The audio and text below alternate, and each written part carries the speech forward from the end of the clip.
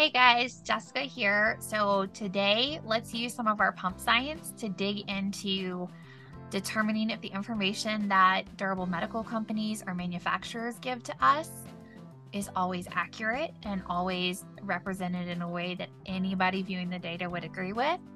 And also to see if this graphing pressure meter can sometimes explain things that moms are reporting with pumps that we wouldn't necessarily know. So we're going to talk about the Motif Duo today. So this is the Motif Duo. This was the Motif Duo. Um, in the last year, they've upgraded the Motif Duo. The biggest visual change is the color, and they did change the shape of the parts. So you can see these two backflow protectors are not the same. It honestly just looked like a cosmetic change, to be honest. This is more in line with other parts that we see. This one looked a little bit outdated, but it had been out for a few years and Visually, breast pumps are becoming more refined, so it didn't necessarily send up any red flags right away. But we're going to talk about what this means for the pump because it actually was a significant change to the pump. So, I became aware of this change the first time when the local durable medical companies started calling me and saying, you know, we really we've got a new pump we want to show you that you can tell your clients all about. And they said the Motif Duo. I'm like, well, that's been out for a while. And I was like, no, it's upgraded. You're going to love this. It's so much better. The thing is, I already liked this one.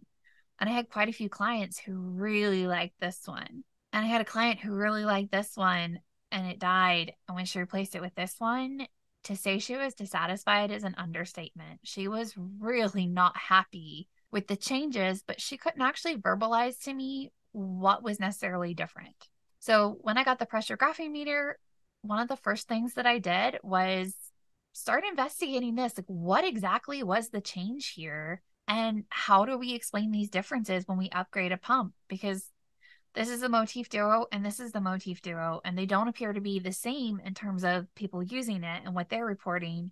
Yet the companies are telling us that they're the same. So let's look at what we can actually see. Let's start with looking at the parts. So the backflow protector was the only thing that really changed. For this mm. one, which is the original style, you've got a flat membrane inside of this little container that kind of snaps and twists together. For this one, we've got a flat platform with a membrane down over it and then a little kind of like spaceship style case. So very similar to what we're seeing on Cimilre and Spectra and Motif, just slightly different shape. So I thought it was probably just cosmetic. The complaint that I had heard about this pump from a couple different people is that every now and then this pump felt like it was kind of hiccuping. And they couldn't put their finger on what it was doing, but they they were like, it just does this weird thing every now and then, no big deal. Well, we actually caught this weird thing on the graphing meter. So let me pull this up and show you what the graph looks like, and then I'm going to explain what it was actually doing. Okay, so See how this pressure kind of rises and then it just rapidly falls off?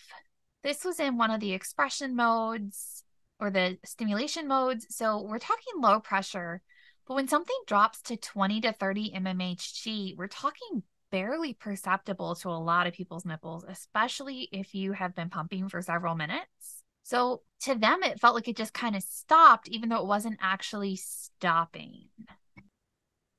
What was happening is that this flat membrane was being pulled on by the air tube that's connected here.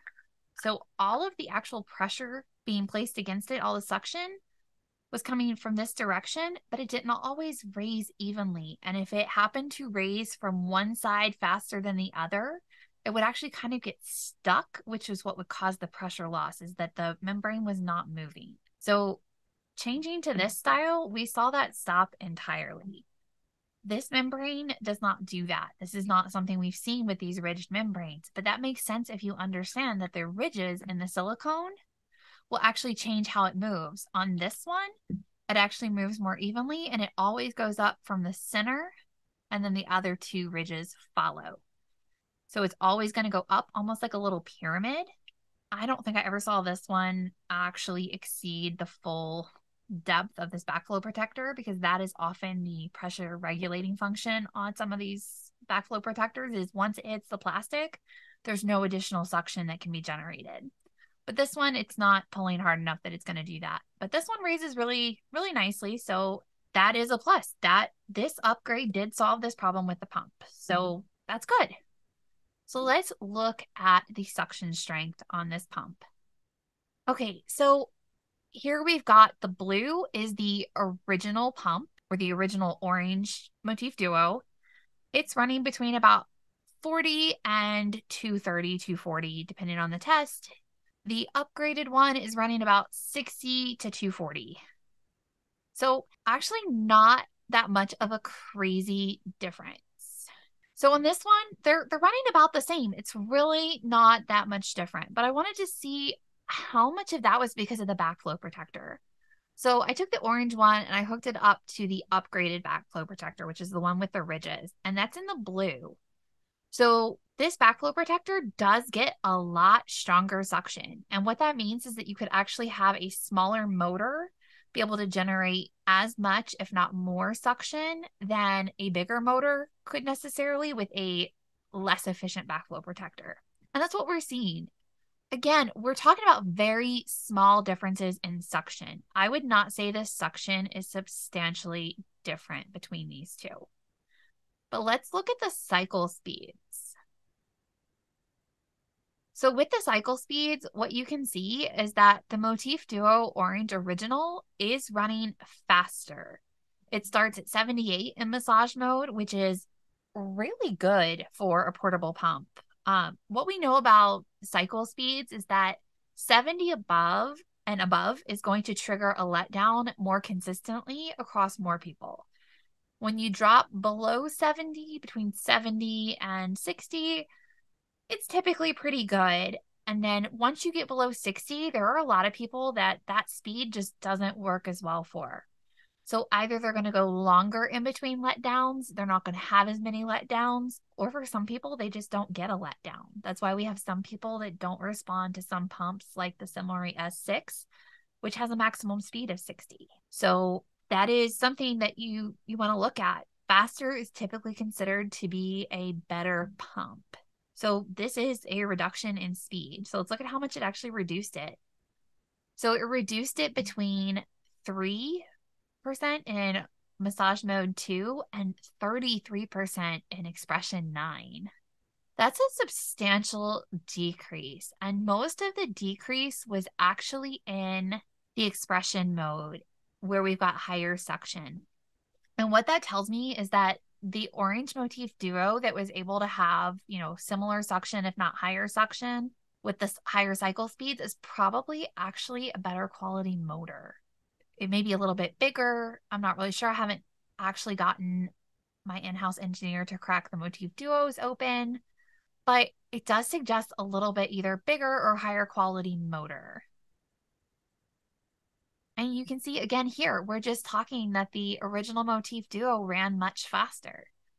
So for that client who was really upset about her motif duo in the gray just not working like the orange, what it turned out is that she was almost always using above 70, but she needed above 70 with a little bit higher suction than what she could get with the gray. So the gray was too slow by the time it was strong enough to trigger her letdown. It just wasn't wasn't doing it anymore.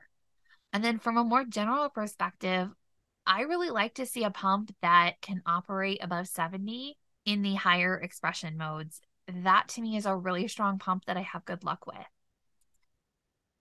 But over here, this purple line is where 70 would be. The gray doesn't even come close to that. That that's a problem. This is not the same as this. It's also, this is probably a little bit better pump. I think what this pump needed was the flat backflow protector membrane to be upgraded because that membrane was not as high quality as the ridged ones that perform more consistently. But this is not as powerful of a motor. Is it going to work for most people? Absolutely. But when you call something the same name and people had, I mean, this this pump's been around for a while. People had kind of grown accustomed to it. They liked it. Hmm. When you change a pump, but you don't change the name, that's really frustrating for consumers and it's frustrating for lactation consultants because now we're like, well, oh, you're using this pump? Well, which version of this pump are you using? And you have to be aware this is not this is not the only pump this has happened with. There are multiple pumps right now where if I'm investigating something with a client, I have to ask a lot of follow-on questions to figure out exactly which pump they're operating and what those settings would mean in terms of are we using efficient settings? Do we need to optimize something? Do we need to change something? It kind of puts consumers at a disadvantage because you're trying to purchase products based on what previous reviews have said. And it puts lactation consultants at a disadvantage because we don't necessarily know the changes like I said, I had a company reach out and tell me that this was a significantly better pump and I was going to be so pleased. But in my opinion, this was the better pump. This is a downgrade for me. I would no longer necessarily recommend this for somebody who's who needs that faster, more reliable cycle speed in order to have a portable pump.